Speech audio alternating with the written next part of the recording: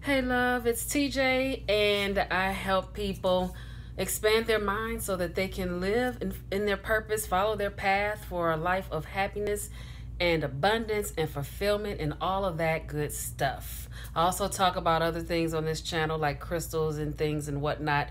Uh, uh, you'll come to find out that everything I talk about is interrelated into you elevating into who you truly are and um, I don't know, standing in your truth and your power. Hey, yeah. So today I wanted to talk about what is this thing with living in the past, living in the past.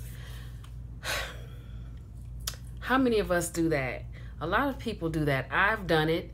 I've gotten so much better and I noticed that I my life has transformed because I have learned to let go of the past. The, the the thing is is when you live in the past, you are like a hamster on a hamster wheel.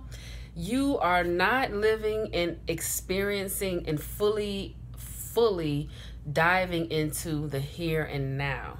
So, if you want to change anything about your life, your circumstance, situation, you're not going to be able to do it expeditiously when you're constantly reliving the past. So every time you go, you know, in the back in the days of old, and specifically things that aren't aren't necessarily pleasant. I'm not talking about reminiscing a, a wonderful thought or some fun you had years ago or thinking about a loved one um, that is no longer here with us in a, a, really a great way like you know having fond memories but more about the negativity the things that we have perceived in our lives as negative the things that have given us bad experiences in our lives. A lots of times and you know i know friends and family they will go back and they will rejudge it and then you're like yes i was there i remember and it is human nature because as humans we are conditioned to to be negative for some reason. That's just how it is. I think it's part of our egos. Our egos are here to protect us and keep us in a box. And that's exactly what it does. If we don't wake up if we just sit there and just allow it we'll willingly stay in that box and we'll never realize our full potential. Many of us have we we we have a feeling of that there is more. You know we know that we're destined for greater. Whatever greater looks like for the individual. So when you're living in the past it is really hard for you to like propel forward uh, in a in an easy fashion. And so i just want to encourage you people everyone anyone who's uh, watching and if you feel like anybody that you know and love needs to hear this please share the video with them. I want to encourage you to let it go. Things of the past are no longer. They don't serve. They did what they were meant to do at that time. We were supposed to either learn from it or and grow from it or uh, you know or just whatever make our decisions on how we were going to move moving forward. Um, but we weren't meant to dwell. Dwelling let me give you another tidbit. When you dwell on those things those negative things in the past that happened to you you are literally your body doesn't know the difference. You are literally going through that same emotion and thought pattern that you went through back then. Your body on a molecular level is going through all of that all over again. So if you experienced any stress, heartache, any type of pain, your body, whether you realize it or not, is reliving that over and over and over again. And a lot of people don't know that these types of things are what causes um, disease, disease in the body. You know, um, you have just the different uh, hormones that start to fire off that are not conducive to healthy living, to your well being.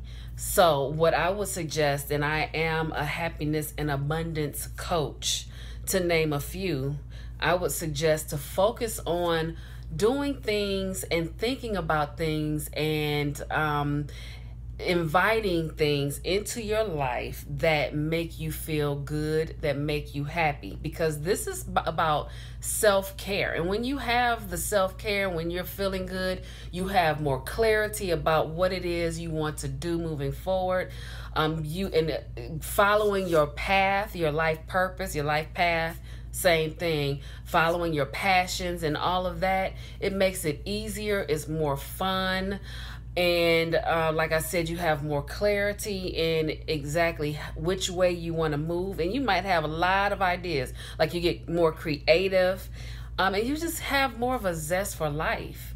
You're more excited you know, you don't have to be like me. I, I, I, like to say yay a lot. I'm one of those people. I feel like I'm still a little girl. I think in a past life I may have been part of a circus or a carnival, or I might have been a gypsy. I don't know, but a lot of those types of things resonate resonate with me, and so I'm like yay! I'm always excited. But if you are someone who is just a little more like laid back and refined, your excitement looks different. As long as you have it is what's important. So, you know, and I, I'll be coming in doing these sporadic um, i wouldn't say sporadic periodic let's say videos because you know i just had this thought and i felt like it was important for me to pop on because of the conversations that i have and I listen to people just rejudge the past, and um, it, it just doesn't serve. And I know that these people, like many of us, have dreams and goals that they want to accomplish, and a lot of times they're not sure why is it not happening for me. There are so many factors that may come into play but the main factor is is if you're not feeling good and you're not uh, you know encouraging your own happiness and you're living in the past you don't have room for anything good from the future to come to you. You don't have room for the present for the here and now. Okay? And then to top it all off you're not really doing your body your well-being your physical health any justice. I hope this helped you. Pass the video on. If it did, and um, if you haven't done so already, like, comment, and subscribe. Until the next video, live simply and be kind.